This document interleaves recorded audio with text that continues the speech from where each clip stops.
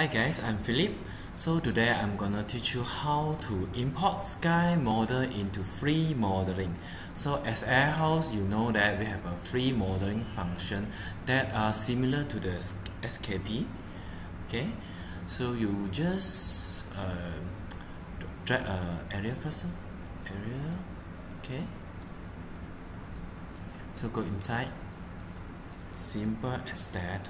Okay so we're gonna uh, input this SKP file or this software into our AiHouse. So you just click this button only.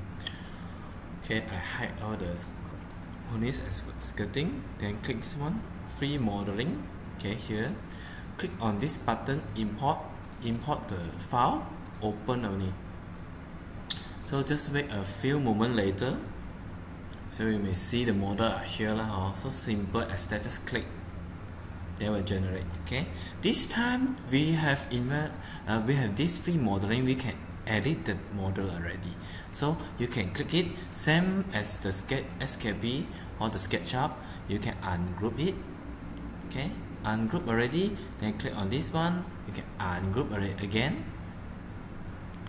so after ungroup you can edit each item or by individual okay? You even can delete the surface you want if you don't want or if you don't want the item you can delete okay? If you don't want the item you can just delete okay? So thanks for watching. Bye